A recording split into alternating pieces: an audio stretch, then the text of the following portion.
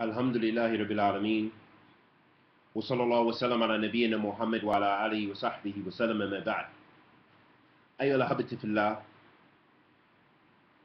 Imam Sheikh Salih bin Fawzan, Hafidullah Ta'ala, was asked, and may Allah subhanahu wa ta'ala preserve him, what is the best means for propagating Islam?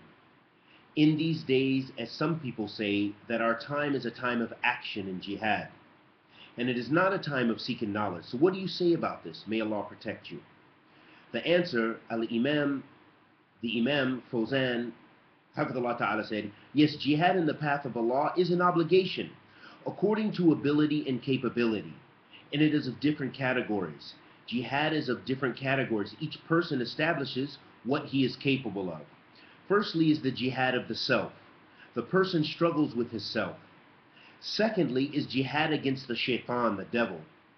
And thirdly, jihad against the sinful from the Muslims by enjoining the good and forbidding evil. Fourthly, jihad against the hypocrites, those who show the outer appearance of Islam, but they hide their disbelief in evil. They latch on to the believers, circling them, and they throw doubts upon them, and they are happy at the hardships uh, faced by the Muslims. Therefore, thereupon their depravity and evil becomes apparent. Fifthly, jihad of the non-Muslims. And all of this is after calling to Allah, the glorified and sublime, calling to Allah with clarity and knowledge. And those categories of jihad are not established except for the one who has learnt Islamic knowledge. Rejecting the learning of Islamic knowledge with the pretext of jihad is incorrect. It is not possible for a person to establish jihad according to what is obligated, uh, according to any of its categories, except if he learns beneficial knowledge, Islamic knowledge. He learns how to conduct jihad. He learns how to repudiate uh, wickedness. He learns how to call to Allah. He learns how to respond to the doubts of the doubters. He learns how to give religious verdicts to questions.